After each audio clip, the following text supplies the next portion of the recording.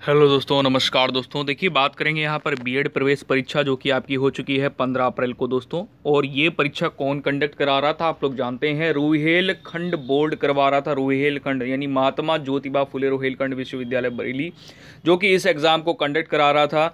और यहाँ पर बात करेंगे कुल कितनी सीटें हैं। ठीक है, कुल कितनी सीटें हैं ये बात करेंगे और रोहेलखंड बरेली बोर्ड ने आज की अपडेट क्या जारी करी है, ये भी इस चर्चा पे बात करने वाले हैं, ठीक है? और यहाँ पर देखिए, ये भी आप जानेंगे कि विश्वविद्यालय की जो लिस्ट है कौन कौन से विश्वविद्यालय शामिल हैं इस लिस्ट में, वो भी मैं आपसे बात करने वाला हूँ तो इस पूरी वीडियो को एंड तक देखिएगा। अगर अभी तक आप हमसे नहीं जुड़े हैं तो नीचे रेड कलर के सब्सक्राइब बटन को दबा लीजिए और बेलाइकन को बगल में प्रेस कर लीजिए, जिससे कि आपको सारी लेटेस्ट अपडेट मिलती रहे।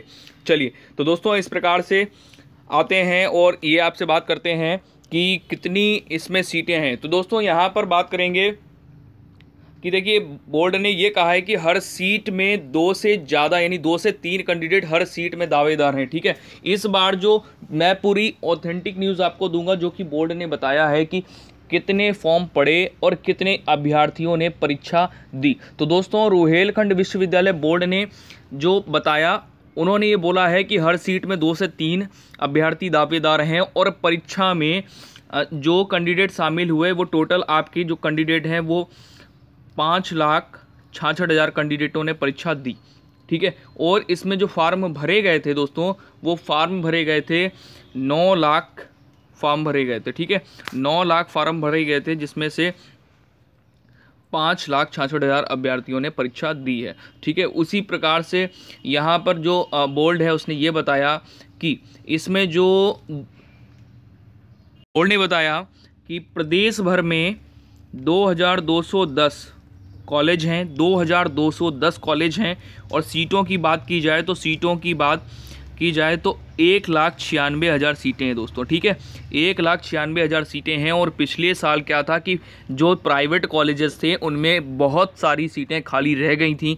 इस बार बोर्ड ने बोला है कि हो सकता है कि जो प्राइवेट कॉलेजेस हैं, उनकी सीटें ना खाली रहें, ठीक है? क्योंकि उम्मीद से ज़्यादा फॉर्म भर चुके थे और एग्ज़ाम भी काफ़ी बच्चों ने दिए, ठीक है? इस प्रकार आप ये समझ लीजिए कि जो बीएड प्रवेश परीक्षा है, इसमें उम्मीद से ज़्यादा अभ्यर्थियों ने प्रतिभाग किया ये बोर्ड का कहना है और यहाँ पर नौ लाख, बोर्ड कह रहा है कि नौ लाख दो सौ नौ बच्चों ने, नौ लाख नौ लाख नौ हज़ार दो सौ नौ बच्चों ने परीक्षा में आवेदन किया था, जिससे कि साढ़े पाँच लाख, मैंने इससे पहले वाली वीडियो में बताया हुआ था, अप्रॉक्स साढ़े पाँच लाख, यानी फाइव पॉइंट सिक्स सिक्स जो एक्चुअल डाटा है, वो है पाँच लाख छाछठ हज़ार अभ्यर्थियों ने इस परीक्षा में एग्ज़ाम दिया, ठीक है? अच्छा अब जो कॉलेजेस हैं कॉलेजेस मैंने आपको बताया कि कॉलेजेस कितने हैं? दो हज़ार दो सौ दस कॉलेजेस हैं, जिसमें सीटों की संख्या है एक लाख छियानवे हज़ार, ठीक है?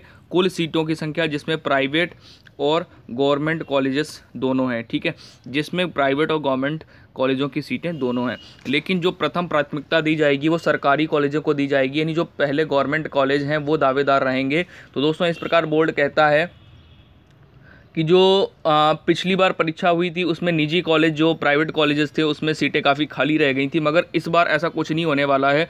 सीटें नहीं खाली रह पाएँगी, क्योंकि ये जो इस बार फार्म इतनी ज़्यादा भर गए और इतने ज़्यादा एग्ज़ाम दिए कैंडिडेटों ने, ये पहली बार हुआ है। तो ये इसलिए हुआ है कि बोर्ड द्वारा पहले ही चर्चा चल रही थी कि जो बी एड कि बी एड चार साल होने की चर्चा को लेकर के इतनी बड़ी तादाद में फार्म आए, ठीक है? तो दोस्तों, यहाँ पर आपने ये जाना कि प्रत्येक सीट पर दो से तीन कैंडिडेट क्या कर रहे हैं। दावेदार हैं, ठीक है ना, प्रत्येक एक सीट के लिए।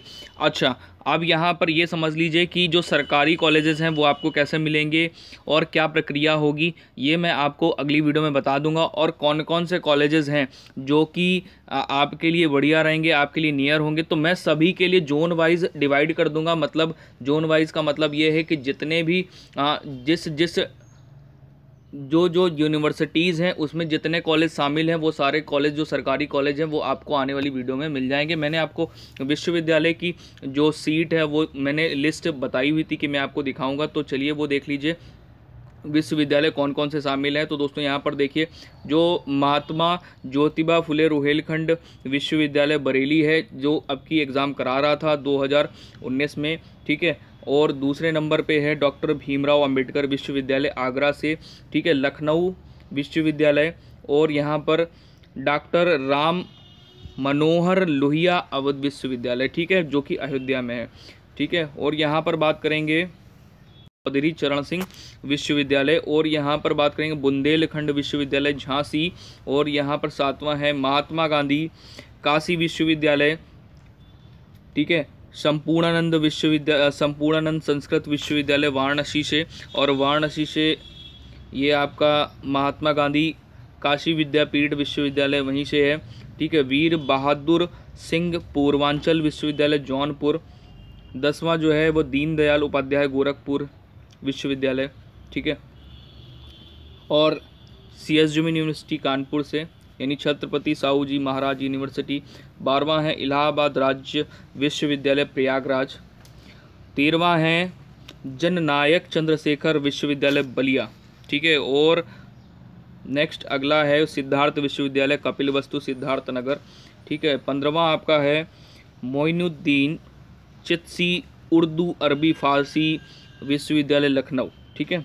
गौतम बुद्ध विश्वविद्यालय नोएडा। तो ये सोलह विश्वविद्यालय हैं जो कि जहाँ से आप चाहें वहाँ से अप्लाई कर सकते हैं, ठीक है? ये मैंने आपको विश्वविद्यालय की जो लिस्ट है, वो मैंने आपको यहाँ पर प्रोवाइड कर दी। आप समझ लीजिए कि सोलह विश्वविद्यालय हैं जो कि विश्वविद्यालय संबंधित हैं इस परीक्षा से बीएड प्रवेश संयुक्त परीक्षा से, जो कि सत्र आपका है 2019 से 2021 का, ठीक है? तो आपको वीडियो अच्छी लगी हो तो लाइक करिएगा, अपने दोस्तों को ज़रूर शेयर करिएगा, क्योंकि इसमें मैंने सारे विश्वविद्यालय बता रखे हैं, ठीक है?